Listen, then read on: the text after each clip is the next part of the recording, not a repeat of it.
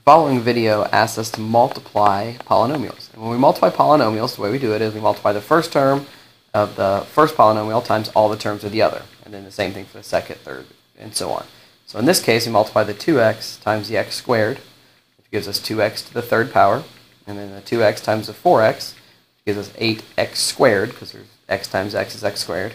And then the 2x times um, the negative 5, which gives us a negative 10x. Now we move to the 3. We're going to multiply the negative 3 times x squared and get negative 3x squared.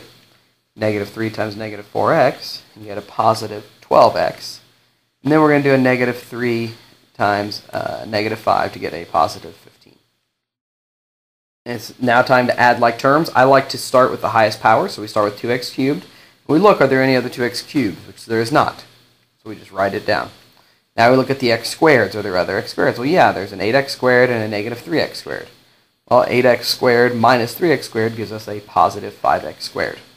I like to cross it out after I've done it just to make sure I know I've taken care of all the terms. Then I've got a negative 10x and a negative 12x. Well, negative 10x plus negative 12x is a negative 22x. And then finally, we're left with the positive, uh, 15. So the final answer is 2x cubed plus 5x squared minus 2x plus 15.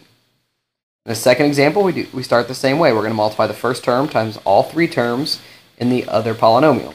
So x times x squared, which is x to the third, x times a negative 2x, which would give us a negative 2x squared, and then x times 4, which would give us a positive 4x. And finally, we're going to multiply 2 times each um, thing in the third, the second polynomial. So 2 times x squared is 2x squared.